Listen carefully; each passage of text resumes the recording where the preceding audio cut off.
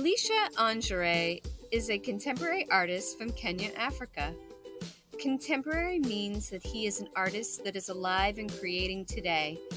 From a young age, Elisha was noticed as an exceptional artist.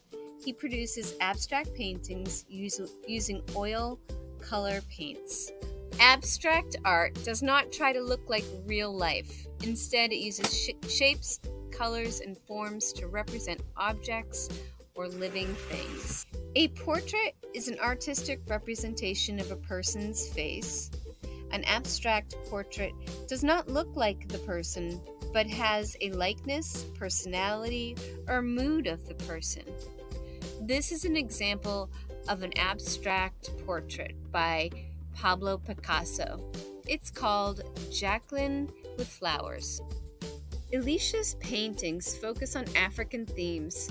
He gets his subject ideas from Kenya's modern life, its news, and political issues.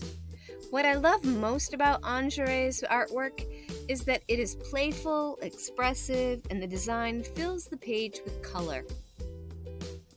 I also love that he embraces his culture and he portrays his African roots in such a strong and meaningful way.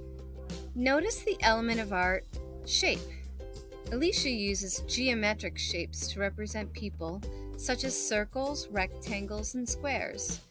Within these shapes, he creates patterns and designs. In this artwork, notice that he even creates these simple shapes in the background, which is what is behind the self portrait. Anjere also uses the element of art color to really make his paintings pop.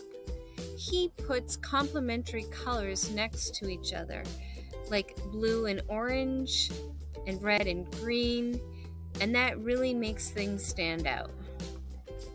Finally, another element of art that Anjere focuses on is line.